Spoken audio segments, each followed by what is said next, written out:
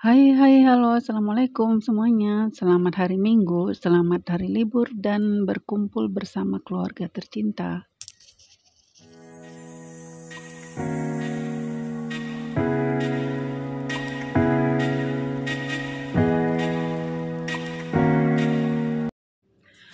Welcome back, selamat datang di channel Dapur Kue Sabin. Bikin apa kita hari ini?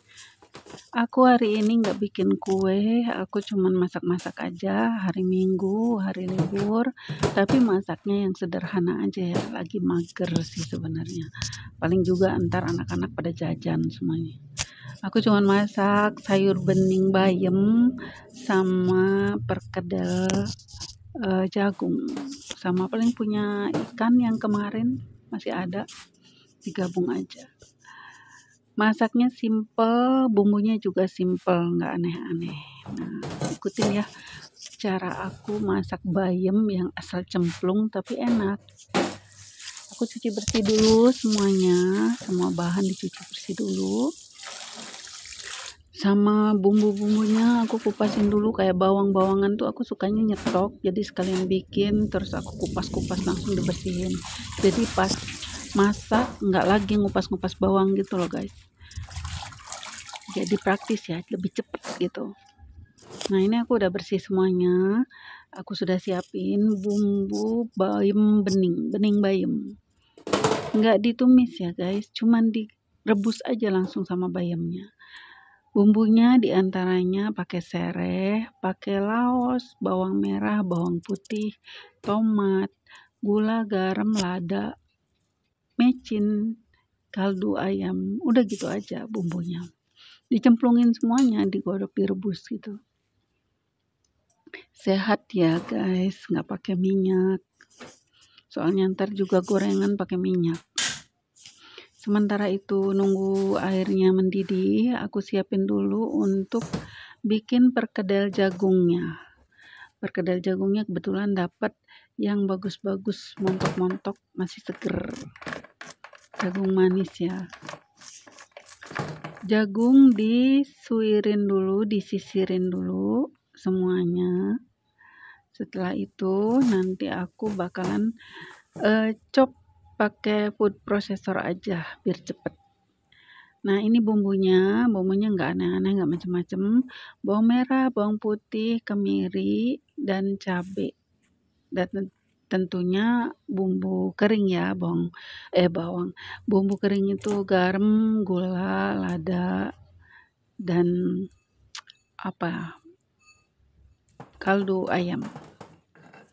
Aku halusin dulu bumbunya sampai halus.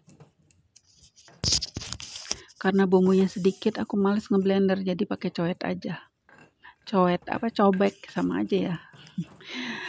Ini udah halus teksturnya. Sekarang kita tengok dulu untuk sayur bening bayamnya. Kebetulan udah mendidih airnya. Langsung saja dimasukin sayur bayamnya. Oh ya tadi itu aku bayam itu dapat metik di pinggir sungai. Itu di pinggir sungai itu banyak banget bayam jadi aku nggak beli bayam. Jadi dapat pinggir sungai. Enggak sih separuh nggak beli. Yang separuhnya lagi beli gitu. Lumayan pengiritan nah setelah masuk bayam aku cobain dulu rasanya kayak gimana. Ternyata kurang asin. Tambahin lagi sedikit garamnya. Oh ya untuk resep-resepnya nanti aku tulis ya di deskripsi. Semoga aja bisa jadi inspirasi. Nah, asik. Ini dapat sedikit bantuan dari bungsu cantikku. Lihat, dia gercep, dia udah tahu apa yang dilakuin karena sering lihat emaknya masak.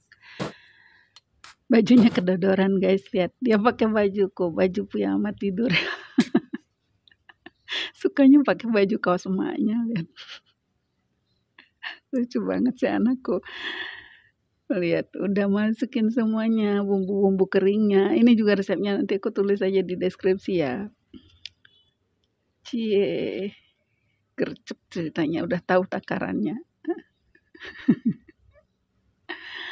Aduh, gimana ibu-ibu? Kalau ada kerjaan banyak, ada yang bantuin nggak di rumah anak-anaknya? aku juga gitu kadang dibantuin kadang enggak. Ya ini kebetulan hari minggu kali ya pada santai jadi pada bantu-bantu semuanya. Ada yang nyuci tadi ada yang bersih-bersih rumah alhamdulillah.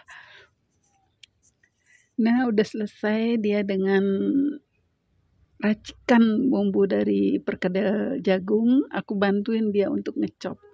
Langsung dicop saja di chopper pro food processor Signora.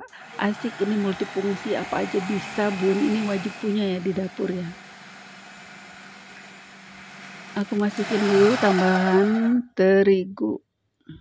Oh ya tadi itu harusnya itu telurnya dua ya telurnya dua. Aku nggak ke kamerain biasa selalu pelupa aku tuh harap dimaklum ya udah umur Nah, tadi udah masuk juga terigunya 3 sendok sama tambahan lagi telur lagi satu.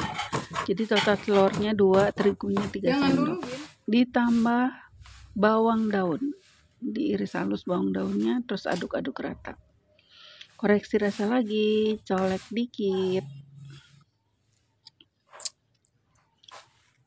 Ternyata kurang garam guys. Kurang garam. Mendingan kurang dulu ya bisa ditambah daripada kebanyakan terus nggak bisa dikoreksi lagi keasinan. Langsung aja kita goreng.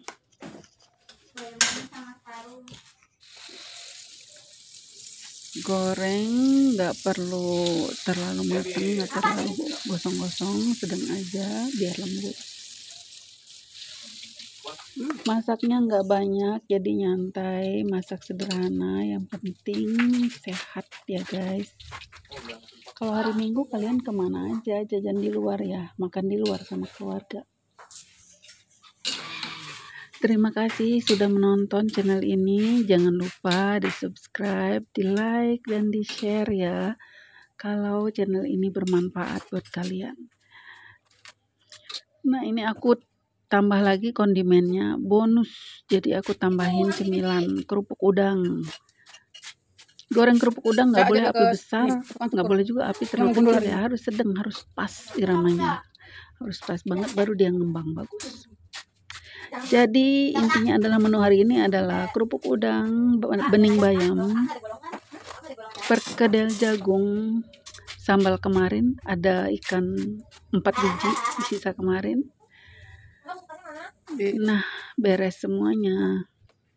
Ini dia masakan hari mingguku, sederhana tapi sehat ya teman-teman. Terima kasih sudah menonton. Oh, Sampai ketemu di tutorial berikutnya. Assalamualaikum.